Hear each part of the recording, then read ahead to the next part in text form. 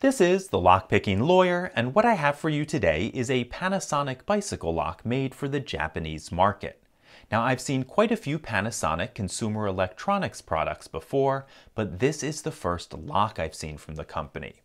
At first examination, the lock struck me as a bit of a contradiction, with a very high quality silicone cover concealing a very weak aluminum lock. And to be clear, even the shackle is made out of aluminum. This would be laughably bad in most parts of the world, but I did some research and it turns out that most people in Japan don't lock their bikes at all. This is due to a very low theft rate.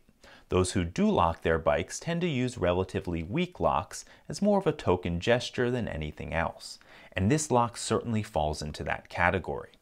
The core is pretty interesting with a 7-pin dimple design that has pins approaching the key from two different directions. So let's see what it takes to pick this open.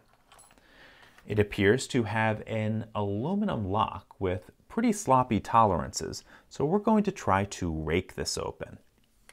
Since the pins come from two different directions, we'll have to rake on two different directions. Getting the pins on the side first, then the pins up top. Let's go back to the side and just that fast we got it open.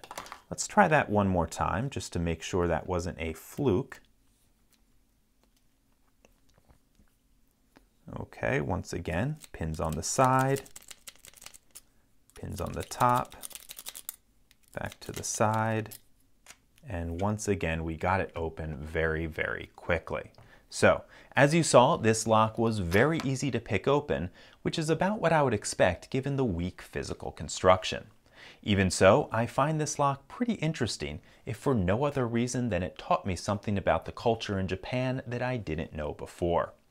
In any case, that's all I have for you today. If you do have any questions or comments about this, please put them below. If you like this video and would like to see more like it, please subscribe. And as always, have a nice day. Thank you.